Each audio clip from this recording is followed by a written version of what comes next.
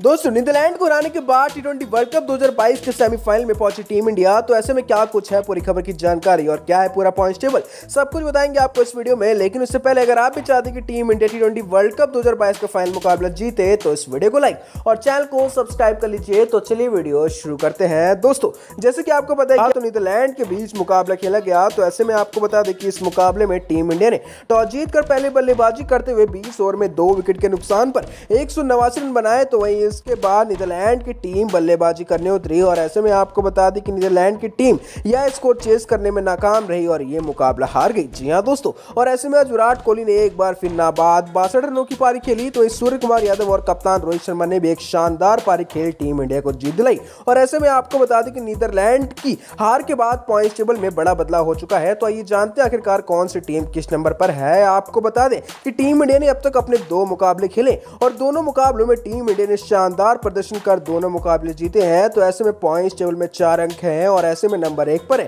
वहीं आपको बता दें कि टीम इंडिया का तीसरा मुकाबला साउथ अफ्रीका के खिलाफ तीस अक्टूबर को खेला जाने वाला है। और ऐसे में अगर टीम इंडिया इस मुकाबले में साउथ अफ्रीका को हरा देती है तो टीम इंडिया हर हाल में सेमीफाइनल में पहुँच जाएगी।